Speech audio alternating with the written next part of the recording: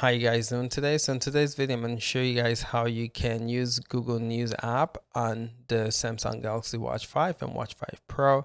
Again, I created a video showcasing how you can get any app onto your Samsung Galaxy Watch 5 and Watch 5 Pro.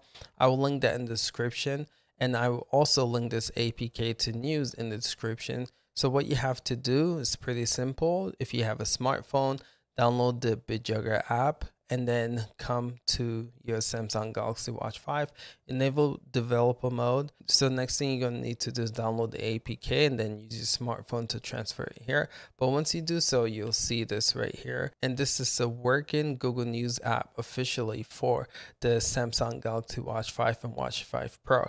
So you guys don't know how long I've been looking for this APK. There's a lot of APKs out there, but none seems to work like this one. But we finally got a working APK. So this is Google News working on the Samsung Galaxy Watch 5 and Watch 5 Pro.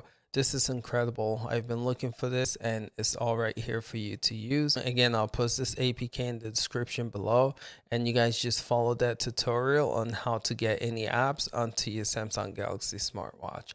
All right, fellas, hope this was helpful. Appreciate you guys. We'll catch you guys in the next one. Till next time, peace out.